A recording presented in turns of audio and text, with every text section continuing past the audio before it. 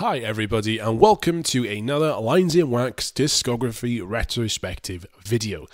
I never thought I'd end up covering a band that was heavily involved in the nu metal scene here on the channel, but hey, life takes us in some strange directions and some strange journeys. But yeah, the tag nu metal kinda does our subjects today here a disservice. They were around before it blew up, and damn have they stuck around since the genre died.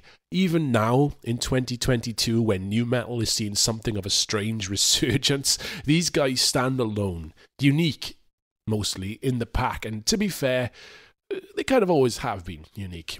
Anyway, without further ado, let's get stuck into a band that is, I think, often written off, perhaps unfairly. Yes, I am talking about alternative masked metalers,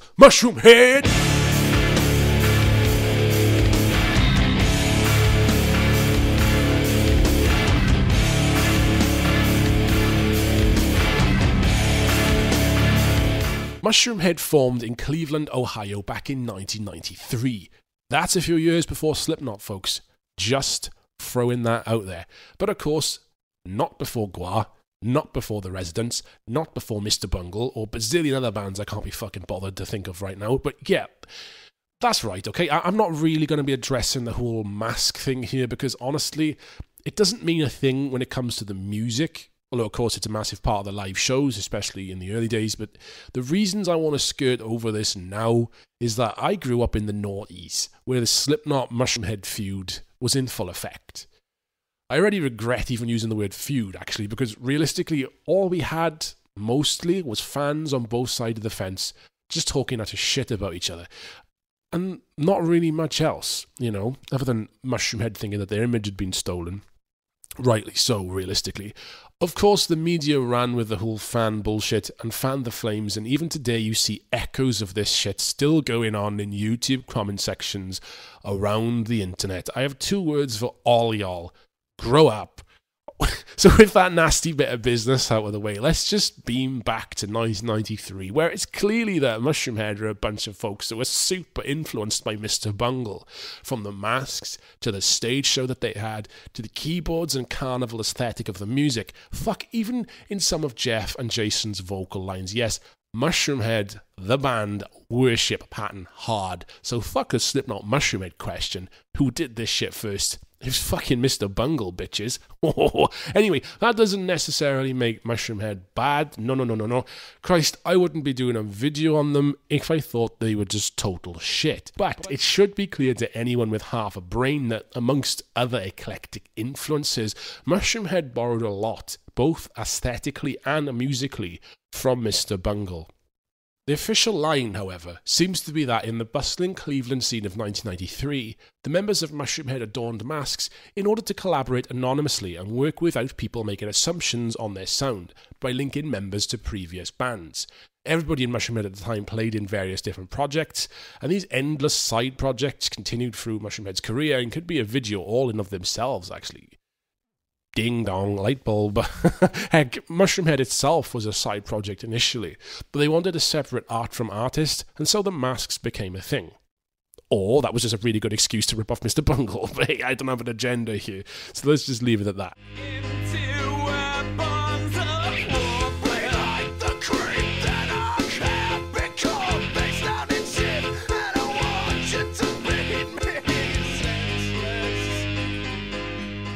Mushroomhead did well to hit the ground running. Their first show was a support slot for Gwar, and this being in the early 90s, that was a big noise at the time. Along with their masks and strange stage show, Mushroomhead adopted monikers to help conceal their identities. The band in the early days consisted of two guitar players by the names of JJ Righteous and Dinner. Yes, Dinner. What a name. Bassist Mr. Murdernickel, sampler DJ Virus, keyboardist Shmotz, and drummer slash band mastermind Steve Felton, aka Skinny. The band were fronted with the dual vocal attack of Jason Popson, also known as J Mann, and Jeff Hatrick, or Hetrick, from the band Hatrix, under the alias Jeffrey Nothing, or just Nothing.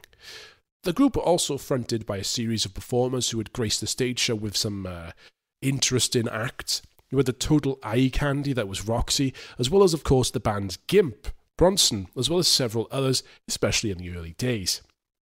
Funny enough, when the band blew up outside the Universal Records in the early 2000s, Bronson was promoted from the role of Gimp to being one of the band's guitar players. So, if anyone tells you that seven years or so of being kicked in the nuts or licking heels and boots won't get you anywhere, don't let people like that in your way, folks, because Bronson is proof that hard work and dedication pays off, if nothing else. But I digress. Aside from J Mann leaving the group in 2003 or 2005 and returning later on, in 2022, at the time of recording, Steve Felton, aka Skinny, is the only remaining constant member who has been in place since the band's formation in 1993. So, yeah, this is another revolving door situation in regards to the band members. But it's not quite as bad as it was for the Cradle of Filth video that I did. Anyway, let's talk a bit about some of Mushroomhead's albums. That's why we're here. We are about to take you into the world of the LSD user.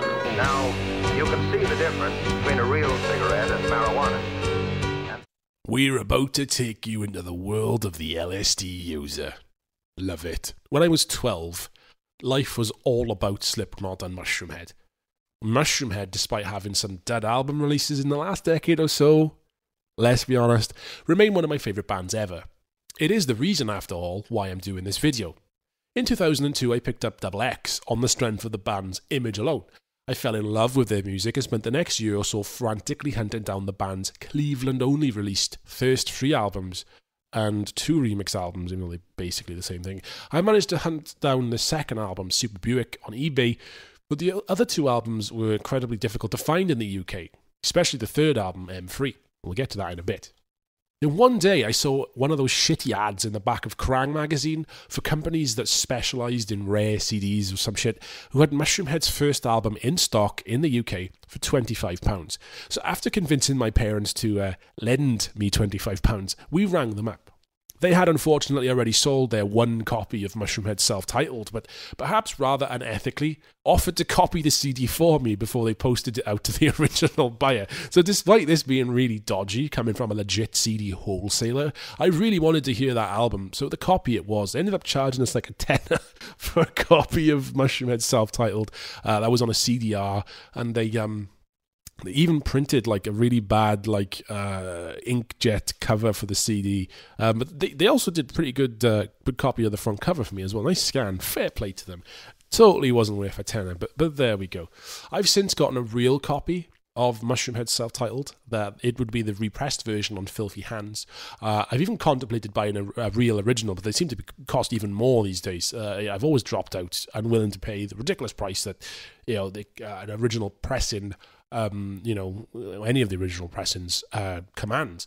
I went on to procure copies eventually of all of Mushroomhead's self-titled records, barring Remix 97, but all of them are Filthy Hands represses, apart from Superbuick. Anyway, in the first of adversaries who like to put Mushroomhead down, the usual weapon I've had to defend myself against is the statement that I've already talked about. Mushroomhead are just bad Mike Patton impressionists, man. They've never done anything original, man. They fucking suck. And yet, as I've already covered in the video intro, vocalist Jeffrey Nothing in particular does bear resemblance to Mike Patton's Faith No More vocal performances. It wasn't until I got into Mr. Bungle myself that I realised how many similarities Mushroomhead actually owe to them.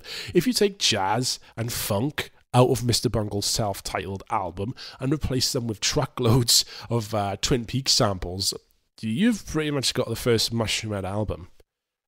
The album, though, in all honesty, is, is all over the place. It's a total shambles from start to finish. The songs don't really flow together. They're often meshed awkwardly together with bad movie samples or crappy piano interludes.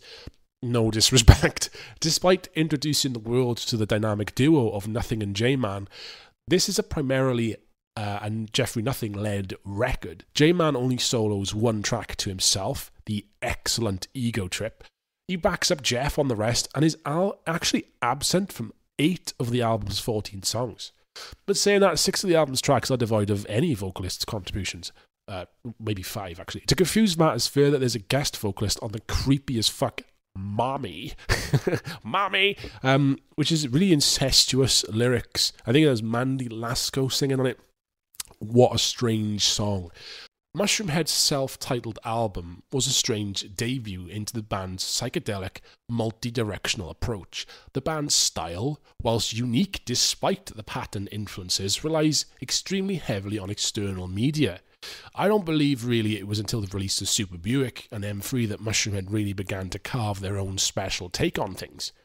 However, we're talking about Mushroomhead self titled, so my favourite tracks on this CD are Slow Thing, Elevation, ego trip, indifferent, and simpleton. Simpleton is just madness. Like what is going on there? Bit of a strange, strange vibe there. Um, I'll add that I could add 43 to that list as a, as a, as a song that I enjoy, but the re recorded version for Double X is phenomenally better than this one, even if this original has a sample of Windom Earle laughing over the start of it, which is a nice touch. So if you like Mr. Bungle, but the 10 minute songs and the endless time changes got on your nerves, try this instead.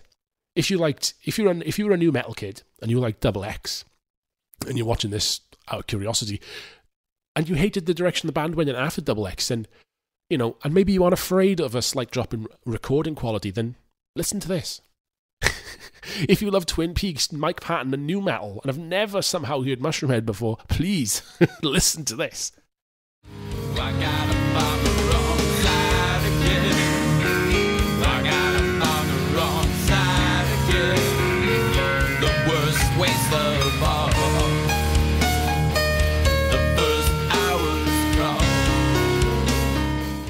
After an exciting but slightly shaky debut album, the quick follow up that was Superbuick a year later really started to show off Mushroomhead's songwriting chops. Gone are the filler tracks, and the album seems shorter than its predecessor, but the record is only leaner for it. The fat has been trimmed, my friends. The fat has been trimmed. The songs are far more complex and engaging. This may have been punctuated by a slight change in the lineup, maybe. Uh, Mr. Murdernickel, Mr. Murdernickel was replaced by his own brother, playing uh, under the alias of Pig Benis. I see what you did there. I listened the absolute fuck out of this album when I was a teenager. This is one of those rare records that is perfect from start to finish, the front end of which is loaded with tracks that nu metal fans may be familiar with. It seems like half of this album was lifted and placed onto Double X, the album that was released worldwide by Universal in 2002. Back in 1996, however, the mix is a little more humble, especially in regards to the vocals.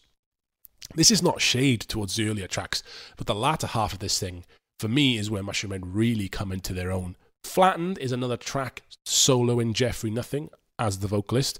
And whilst it's sad that there's no contribution from J Mann on this song, this really showcases Nothing's vocal abilities. It really puts him front and center, and he shines on this thing, as does Pig Benis with the bass playing. The tracks that follow, the bizarre Big Brother with its odd lyrics and female chorus, breakdown, I guess, over the ending, and idol worship, a claustrophobic, isolated nightmare of a song that drips of angst and self loathing, distorted vocals and shouted, bizarre, screaming.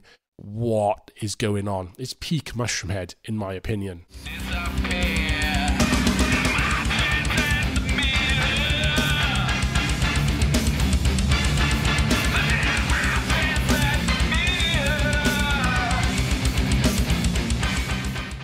How the pulsing, stabbing synthesizers fold and overlap over the walls of guitars and drums as both vocalists come at you with totally different vibes. Honestly, it's a plain old good old fashioned fucking headfuck, and I love it. But yeah, eventually the band went on to reissue uh, Superbuick along with all its other earlier releases, but I will cherish my original copy of this for the rest of my life.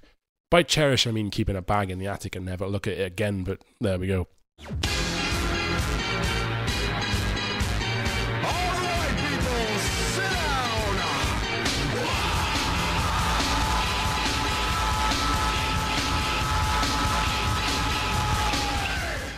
I'm going to cover both Remix 97 and Remix 2000 in this one section because they're more or less the same thing but with additional tracks on the latter.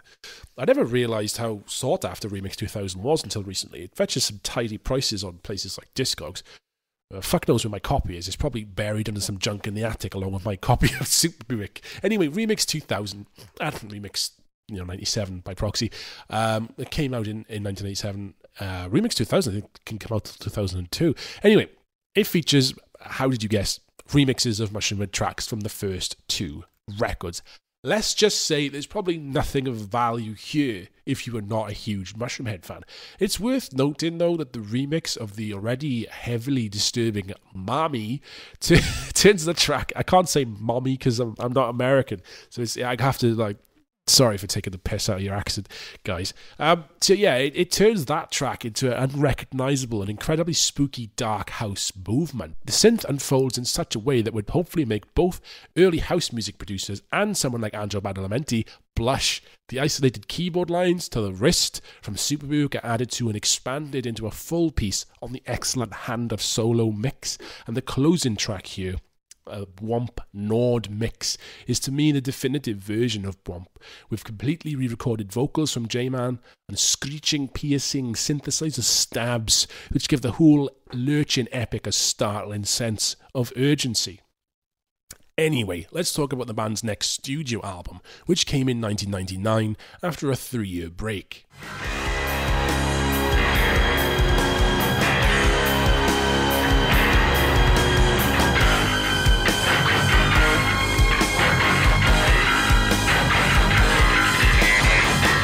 M3 is the last album to feature both JJ Righteous and Dinner on guitar. DJ Virus has also left the fold at this point, with Bronson, the resident gimp, being promoted to trigger in samples and stuff like that, but I'd imagine this was more in a live capacity than anything else. M3 for me is like Superbuick, but with a darker streak running through it. M3 is the band's darkest and most serious effort, in my opinion. Mm, although maybe A Wonderful Life, the most recent album, does kind of give it a run in for its money. You know, theme uh, in the theme department. Lyrically, on M3, there are themes of war, conflict, internal and external strife, even politics and social economical struggles in you know in some regards. It seems all of the colour and carnival vibes have been sucked out of Mushroomhead's sound and image, leaving, as I say, dark, somewhat depressive and more adult themes in place. I remember speaking with the lady who ran Mushroomhead's merch store back in the early 2000s. I unfortunately can't remember her name, but I believe it was another member of the Kilcoyne, Killsoin, Killcoiny. I don't know how you say it. Of the Kilcoyne family. I'm going to go with Kilcoyne. From both, uh, where both of the band's bassists came from. You know, the two brothers. I can't remember if she was a sister or a cousin, but time has got the better of my memory. Anyway, I asked her how the band changed so much during this time. We lost both JJ and Dinner after the album's release. JJ admittedly going away closer to the Double X period, actually. And also, this album has to be uh, out of the classic run, the one to feature the smallest inputs in regards to Jeffrey Nothing, who was often front and centre as the clean vocalist on the first two albums. Don't get me wrong, he's here a lot, but not quite the same quantities as the first two records. This could be in part, of course, to the developing lyrical themes. Jason Popson, as J Mann, seems much more adept at these weightier subjects, and that may be why he features more here just naturally in the songs than usual. But there's also the inclusion of a third vocalist by the name of Scott Edgell, or Scott Edgell, Again, not sure how you say his name. Scott's approach is not too dissimilar from Jeffrey's, but he is, of course, a different vocalist with a different voice. Now, I can't remember exactly what this woman told me, but there was a bunch of shit going on with the band at the time. It seemed like Jeffrey was. Well, he was like, think he was taking a break, perhaps losing interest. And it seemed to me, at least, that Scott was being brought in, almost testing the waters as a replacement. Why else would he feature as a lead for the track? The Final Conflict. The marriage of all three vocalists on the track The New Cult King is just bizarre, but that's one of the best Mushroomhead tunes in my, in my opinion. So, with its menacing plod and dry, fizzling keyboard pads. When I asked for clarification about what was going on with Jeff at the time, communication between myself and this woman close to the band broke down. But hey, I was only a kid at the time, so I didn't really keep pestering her. You know, this is over email. So I just went on with my life. I'd probably started playing Tony Hawk's Pro Skater or something.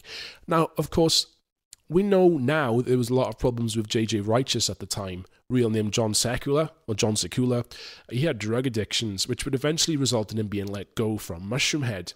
Righteous or, or Sekula uh, sadly passed away of a massive heart attack in 2010 at the age of 41. So rest in peace, my dude. I just it's worth quickly noting as well at this point that Sekula played in several Mushroomhead related side projects, including uh, State of Conviction and the excellent unified culture with J Mann. The other half of Mushroomhead's guitar wielding duo, Dinner, real name Richie Moore, was also let go in a similar time period. I've read all sorts of shit online about this, about uh, that he stole from the band, issues about money, etc. I can't really confirm any of it, so I won't dwell too much on that. I always thought Dinner had one of the coolest masks out of the members of Mushroomhead, just just for what it's worth.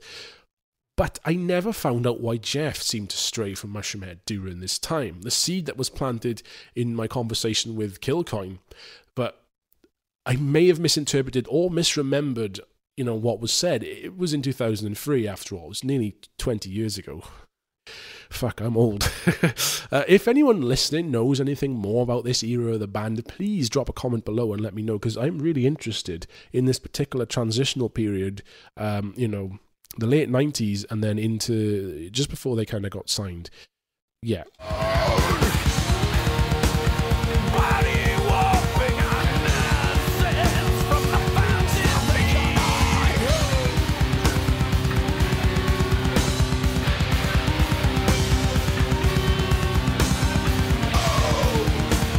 M3 was also overshadowed by the band's end as an independent entity, signing first to Eclipse Records and then to Universal shortly after. But we'll talk more about that in just a moment. So, some of the tracks that I really love here on M3 are Before I Die, which is just the most brutal opening.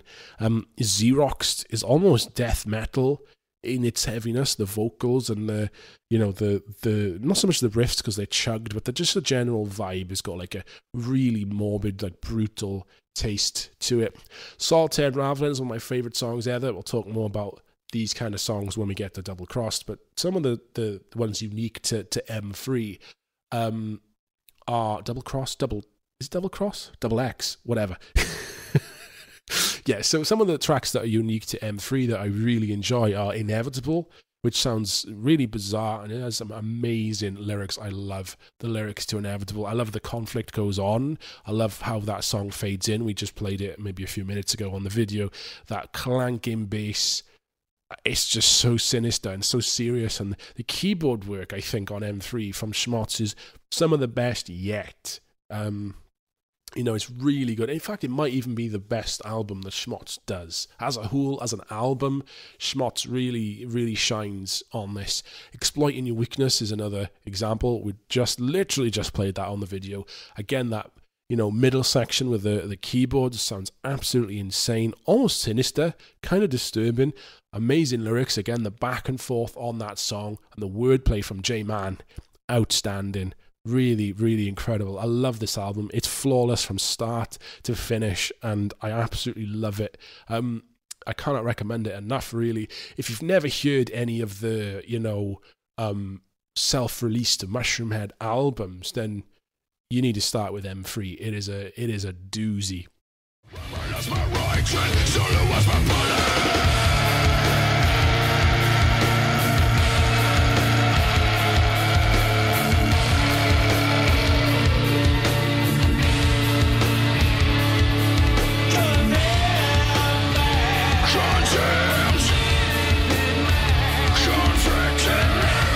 Oh boy, here we go.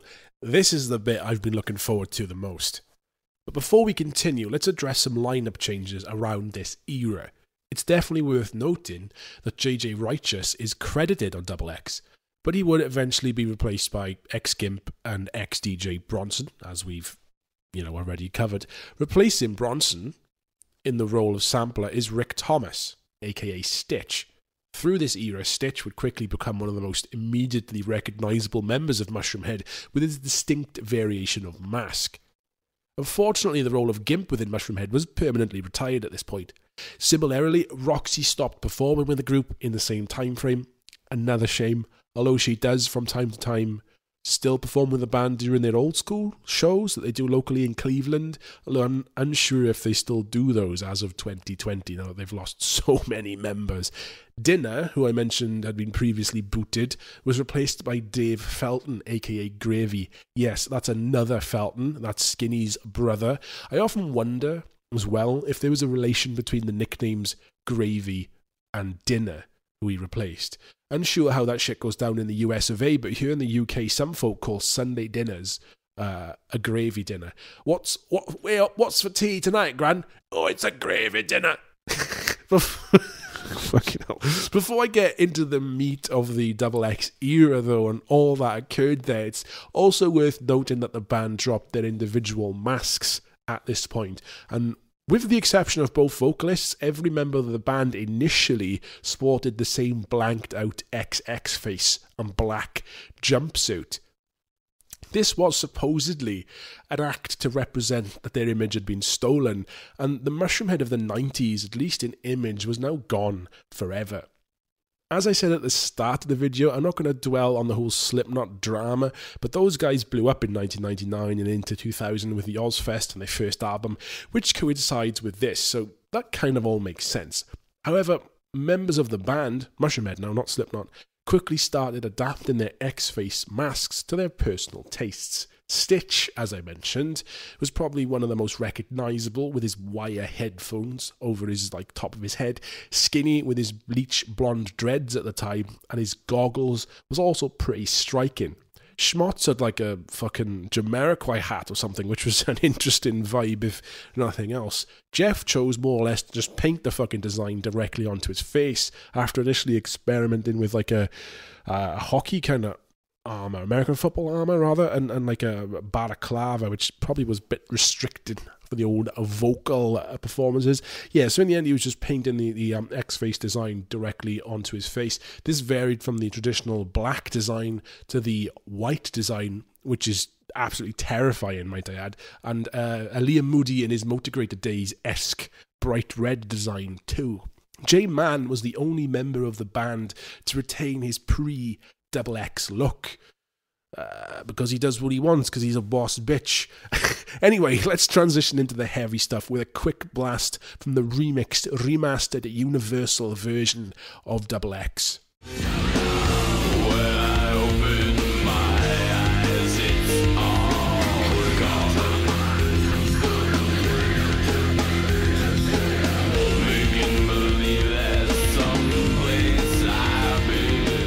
So, the circumstances of Mushroomhead hitting the big were a little bit complicated. Now, it's not super convoluted, but it's not as straightforward as you would think. Initially, Mushroomhead signed a deal with Eclipse Records to release Double X, which was like a compilation of the best tracks from their previous three locally released albums. I guess you can say four because some of the remix stuff onto the original, uh, uh, well, onto, onto the Universal Records version. We'll get to that in a minute. Shortly after, Universal Records picked up Mushroomhead. Now, I don't know the full ins and outs of this. I don't know what the transition was between Eclipse and Universal. But all I know is, is that there's two versions of Double X. Double X came out originally on uh, on Eclipse. Now you can see from the video here that I've got a copy. I've bought a copy of the Eclipse version in the Q pack for the first time for this video because I always had the Universal Records version. I did not have this uh, Q pack version. Now there's a difference between these. Okay, so in the original case of the Eclipse version. The tracks are lifted directly from their respective albums. So the tracks are, are lifted from the first three or four albums and are placed straight onto this uh, onto this, you know, onto onto this release. So most of them are in their original form, um, with the exception of one or two, which are remixed or reworked specifically for this particular release. Now, coupling that as well, there's also a one-off exclusive track called Epiphany. Now, it's a keyboard piece, and it was written by Shmotz, or at least performed by Shmotz, and it's right on the end there of the Q pack. Um, what's the word I'm looking for? Um, Eclipse version of Double X.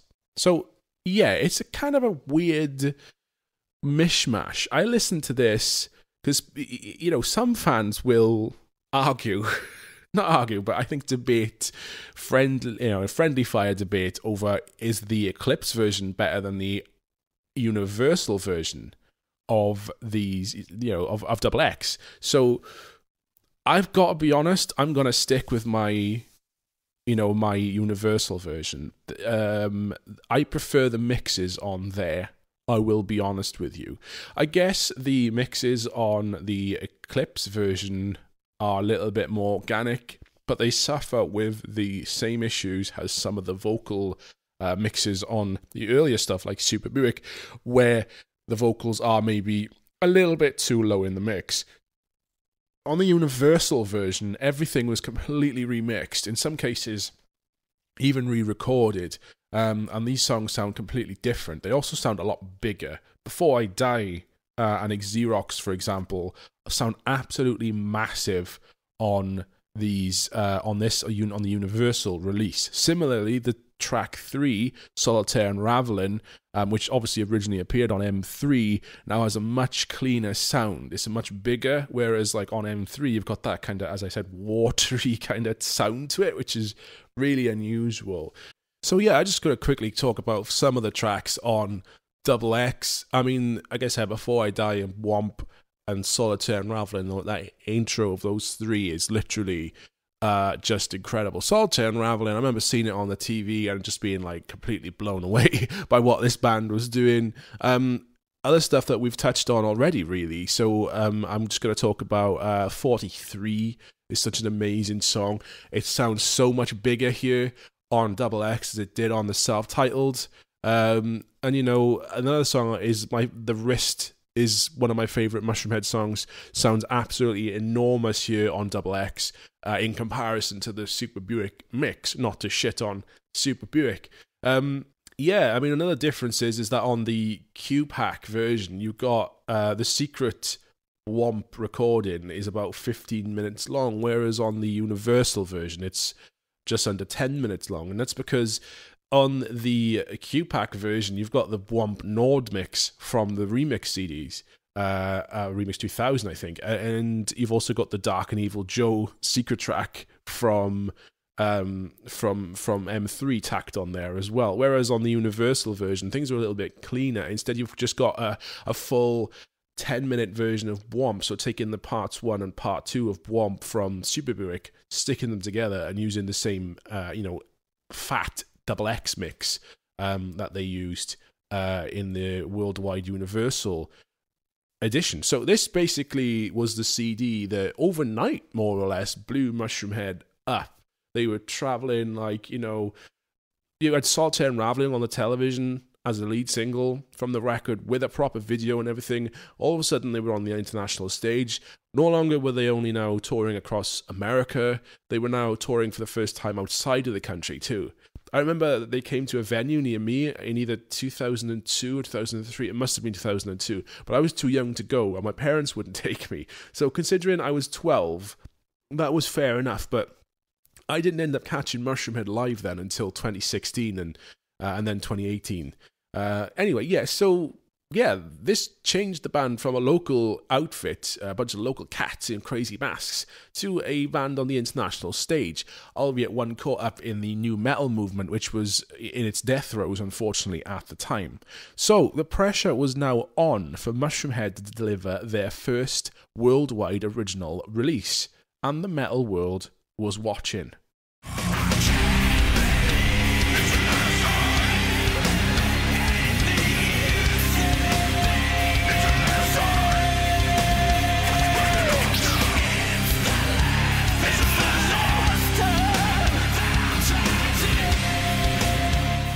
13. It's quite a departure from the jumbled, beautiful clusterfuck that was Double X and the records that came before it, but absolutely nowhere near as bland as Savior Sorrow and the other records that would follow, but we'll get there in a bit. I'm getting ahead of myself. Yes, 13 stands apart from anything else in the Mushroomhead canon in its own perfect little storm. I don't like to think of it as the sound that represents Mushroomhead, but it's also a solid album and was a massive part of my early teens. It's also one of those albums that gets better as it goes on.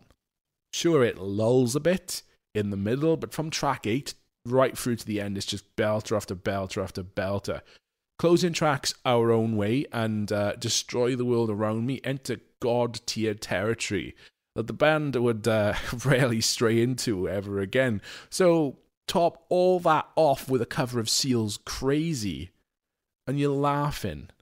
This is easily, it's worth mentioning as well, this is easily Mushroomhead's most well produced album, with Universal coffers behind them. This is a polished and incredibly well put together affair. And what a follow up on the international stage, at least, to Double X. Sadly, this album might have marked the beginning of the end for the band, but 13 is a solid album. Let's not forget that.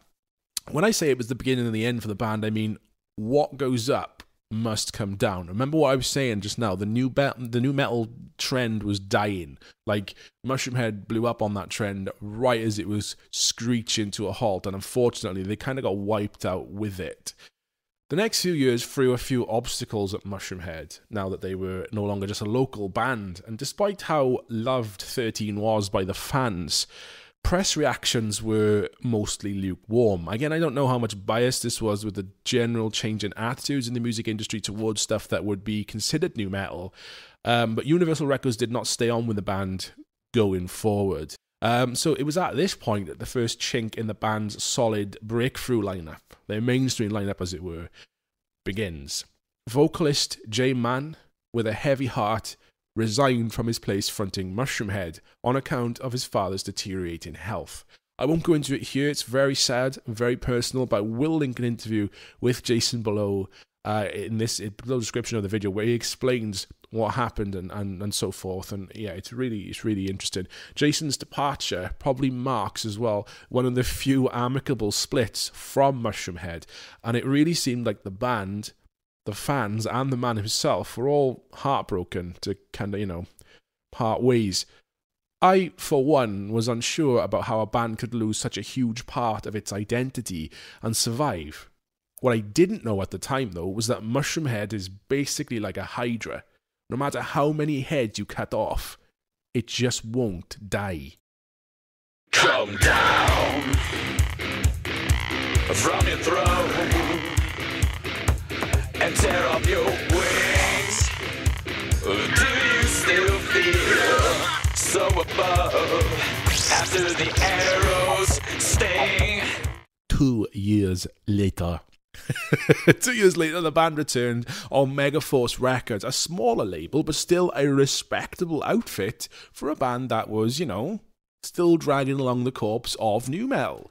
Another self produced album was dropped, this time entitled Savior Sorrow, and it debuted the new frontman of Mushroomhead, Waylon Reavis. Now, Waylon didn't take one of his one of those funky names. He was always known as Waylon, and I like that because he didn't put up any stupid fucking like uh, alias or anything, and he had every right to. You know, I'm just I wonder why he didn't do that. Anyway, anyway, the original review I wrote of Savior Sorrow back a long time ago was pretty scathing. I'll be honest. Production wise, this record is a huge step down from 13, and the direction the band took really just didn't gel with me at all. By the time Savior Sorrow came out, I was already into far more extreme music, metal basically, you know, proper like death metal grindcore guy, than what Mushroomhead were able to offer me. So it was also a personal thing as well, if anything. However, this does not paint an accurate picture of Waylon Reavis. Waylon is the perfect frontman. He's great with the crowd, he can sing and scream, and what a set of pipes on the guy as well. He's the perfect metal vocalist and frontman. Not only was he an excellent choice to replace J Mann, he could also do things that neither Jay or remaining vocalist Jeff could do. Let's be honest. And this was part of the problem, I think. Jeffrey Nothing is reduced to a bit player in his home band when Waylon is able to offer the full frontman package. It gave Saviour's sorrow a strange imbalance, upsetting that yin and yang that Mann and nothing had for the previous decade. I will say though, the lead single for Savior's Sorrow, Simple Survival, is an absolute banger.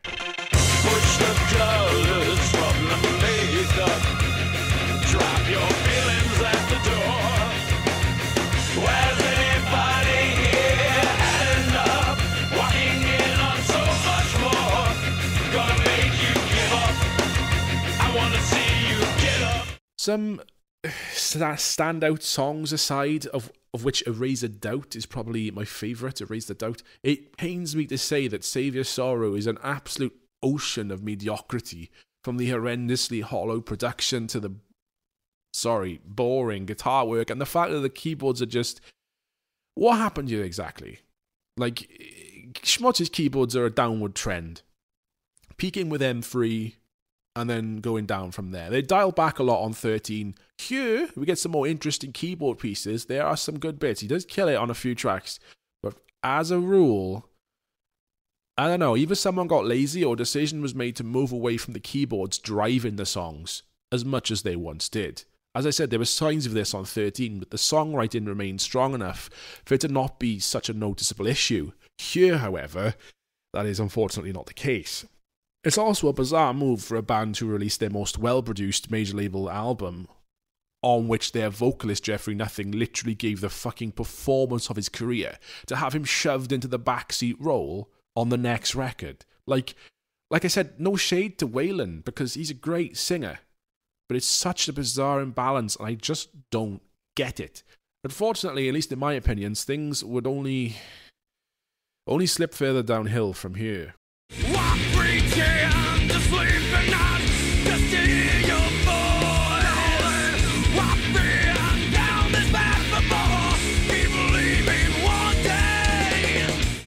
Mushroomhead took another four years to drop another studio album, this time in 2010.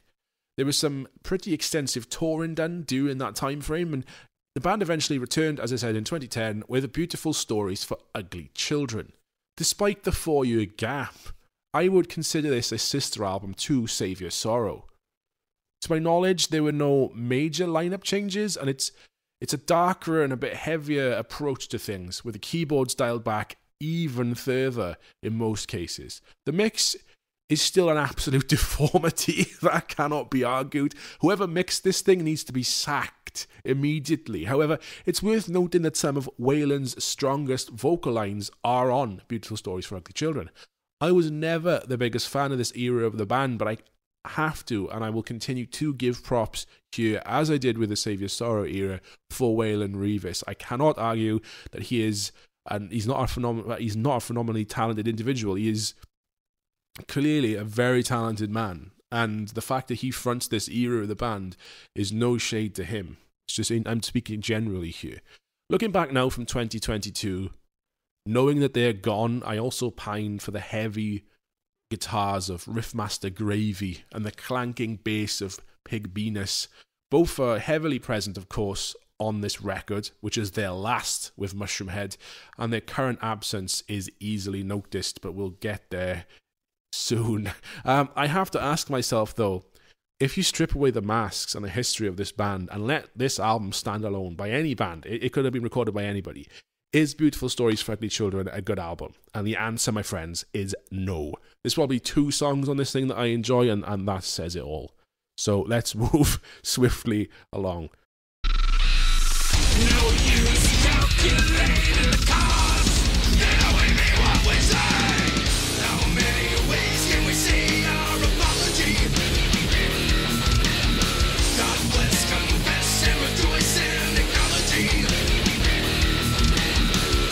Seemingly uh, reveling in their four year breaks between records, another quad of years passes before Mushroomhead drop The Righteous and the Butterfly in 2014. After stagnating through the middle and end of the noughties, sorry, the early 2010s brought a lot of change to the band. Pig Benis, as I said, left the band after being pretty much right there from the start, or at least from 95 or 96. Uh, so yeah, yeah, that was a big loss. Surprisingly, Skinny's brother Gravy also left during this time after a good decade or so with the band. Dr. F replaced Pig Benis on bass, and Gravy was replaced by Tommy Church.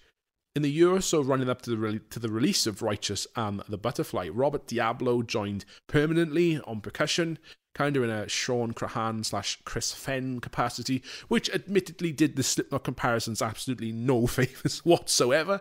Live Roberto Diablo also switches out the main drumming duties with Skinny, and it seems uh, there's medical reasons involved here, or age, or both, um, for the reason why Skinny can't make it for a whole live set anymore. I've seen him a few times, and he, they keep switching out all the time. I'm not really sure why. Uh, most importantly to me, however, at this point, was that I espied some web articles which revealed that the original vocalist of Mushroomhead, J Mann, would be guesting on a few tracks on the new record. I was curious to see how Jason Popson would fit into this so called new Mushroomhead, which I'm not the greatest fan of, and it seemed so far from the stuff of old, and I'm just, I can't see how it'll work alongside Waylon. But before long, it was quickly announced that instead, Mann would be returning to Mushroomhead full time. I mean, that's fucking great. But what about Waylon, his replacement? Was he going to get sacked off like Armored Saints John Bush when Joey Belladonna returned to Anthrax? Yeah, soz John, mate, but our OG vocalist is back and it's going to make us more money, so bye. a similar thing happened to Black Sabbath's Tony Martin uh, in the early 90s, as well as the uh, acting bassist and drummer of that lineup, when Tony Iommi fucking sacked a lot of them off. Uh, and that, they were the most solid lineup in decades as well, uh, to welcome back Dio, um, Geezer Butler, and Bobby Rondinelli. And that album lasted, that, that lineup lasted for one album, so more fool on fucking Iommi. Uh, anyway. Thankfully, none of that shady shit was going to go down with Mushroomhead.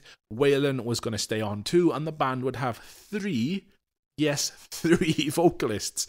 Now, let's not forget, right, that even though she was not an official member yet, Jackie Laponza also started as a touring member at this point, meaning the band had four, yes, four vocalists. Four vocalists, Skinny. Four? That's insane. But anyway, what did this great comeback album sound like? Sake, another casualty, another travesty, another motherfucking German Shepherd crawling with his teeth, stepping big, slamming, smack, grabbing, kicking when the banks drop. Boom, boom! Alpha to Cerulo, I'm here to say fuck you! Righteous and the Butterflies' lead single, QWERTY, is probably the biggest thing Mushroomhead had to a hit single, aside from the nostalgia trips that uh, were Solitaire Unraveling, um, what they give to people of my generation. Also, uh, from 13, uh, Sun Doesn't Rise, that appeared on the Freddy vs. Jason soundtrack, uh, and crappy movie official soundtracks were once a big thing. So this became a very popular tune. On a lesser scale, Before I Die uh, was, uh, again from Double X, was used heavily to promote the band in the UK, appearing on like all those CDs that like magazines gave away and stuff. And I think Before I Die also appeared on the soundtrack to the film Triple X, starring Vin Diesel. You know, the one with Rammstein in it. In terrible film. Anyway, QWERTY has fucking millions of views on YouTube, no doubt helped by its creepy music video, which is probably the best Mushroomhead music video, even rivaling Solitaire Unraveling. Old school fans rejoiced as the twisted carnival vibe and keyboards returned, as did J Mann. And similarly, a whole new generation of folks were introduced to Mushroomhead's insanity with this track. It almost felt like a new beginning. I guess it was a new beginning, really, all the way back in 2014. But what of the album as a whole? Yeah, there is heaps of old school Mushroomhead vibes in this. Fucking heaps. The keyboards take on as I said, that old carnival vibe. There's even rapping again, for fuck's sake. I couldn't tell you how happy I was to hear rapping in metal music again. I never thought I'd say that. There's a few trying too hard to be a part of the eight string chugga chugga chugga chugga chugga kind of, uh, you know, sugar kind of tracks that do absolutely nothing for me. And if I'm honest, I was enormously surprised by how crap this record isn't. I'm not counting the uh, Adele cover, with a dubstep drop in the chorus because that can just be blotted out of existence. Let's be honest. But, and it is a big but. Ooh, uh, Jesus Christ, this shit is a fucking mess. J Mann rejoined, but as I said, Waylon also remained. Now, I mean no disrespect to any of the vocalists for Mushroomhead because they're all amazing. There simply isn't enough room for them here. It doesn't help that with Waylon is screaming, he sounds almost identical to J Mann. So the whole thing that made Mushroomhead work was the unique dynamic between J Mann's lows and Jeffrey Nothing's extremely identifiable highs, I guess. Waylon is a phenomenal frontman, boasting a veritable arsenal of vocal styles, as we've covered, but there just isn't enough room on these quirky three or four minutes for three separate vocalists. Throw in, as I say, appearances from Jackie Laponza and guesties from 10,000 Cadillac's very own Just Mike, and everyone is literally fighting for space to spit. It's fucking ridiculous, to be frank. Nevertheless, I believe that Righteous and the Butterfly is a step in the right direction, um, considering the uh, the trajectory that the band took. And uh, the Mushroomhead are a phen- phenomenally talented band phenomenally talented band that have been wasting itself on boring alternative metal for nearly a decade, and this was just such a refreshing breath of air um, pumped into into life. Um, so I also quickly just want to touch on the name, the Righteous and the Butterfly. As abysmal as that album cover is, the name Righteous and the Butterfly refers to um, JJ Righteous and Vanessa Solorio. I don't know if I'm saying her surname right, and I apologize if I fucked that up because Vanessa was, um, I think she was um, Skinny's wife, original wife, and also uh, a long time, uh, you know, part of Mushroomhead's history in regards to being their photographer and, and so on and so forth. Um, John Secular, obviously JJ Righteous, passed away in 2010 also. So it's dedicated to the memory of both of those people, the butterfly being Vanessa and the righteous being, of course, JJ Righteous. So yeah, that's, you know, if you're a obviously a, a diehard Mushroomhead fan, you, you already know that. Um, but I'm just throwing that out there because I thought that was a really, really cool detail. If, however, you were super stoked about the direction the band were taking with The Righteous and the Butterfly, then you were fucked out of luck because it took another six years before the band would drop another studio album. So let's have a look at that.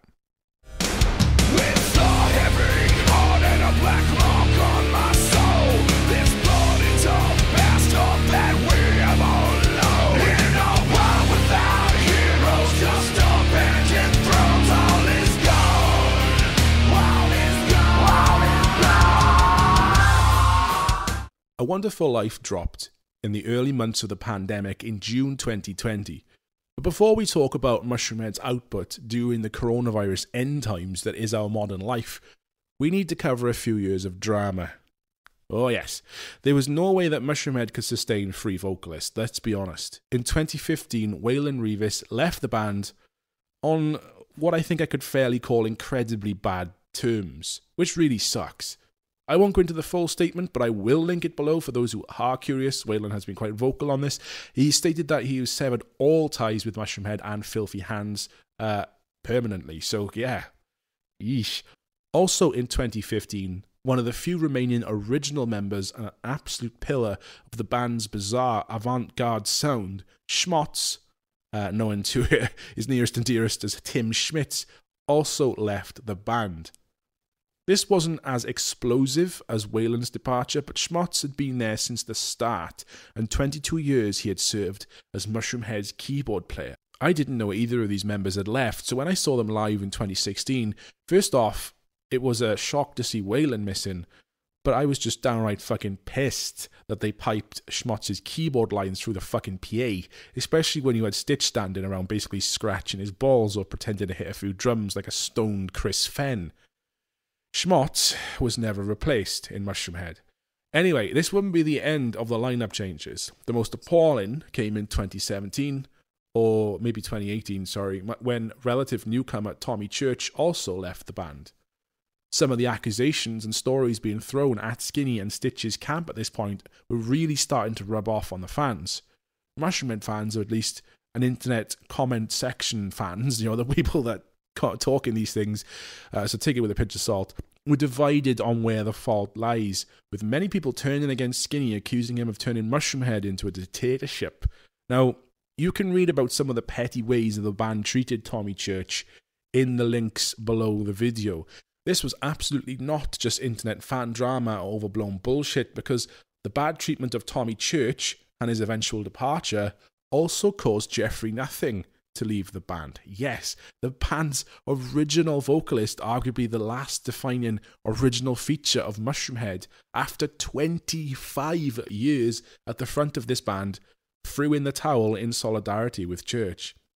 Like, fuck, what is going on? So, personally, I was fucking done with Mushroomhead at this point. They were shedding all the best members, original guys, you know, who had stuck it out fucking decades, as well as alienating and treating new members like that as well.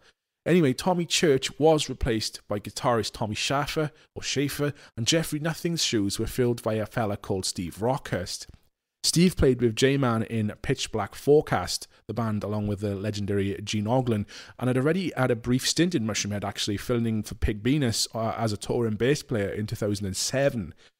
So rounding out the new lineup, Skinny's wife or girlfriend or whatever, Jackie Laponza, was also eventually made a permanent member after six years or so as the third vocalist. So to recap, the band has three vocalists again as of 2020. Um, those being J Mann on his second run, and newcomers Jackie Laponza and Steve Rockhurst. Anyway, this is getting a bit confusing, so let's just talk about the album.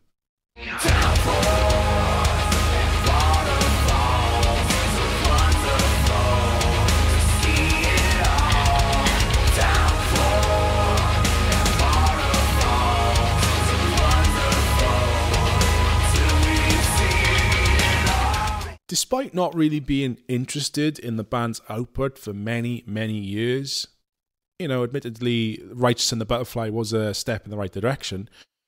Then Jeff Hatrix's department, or Jeff Hettrick rather, his departure from Mushroomhead felt like a gut punch. And, and to me, even with J Mann back, the particular gut punch felt like the final nail in the coffin for a band that was long past their prime.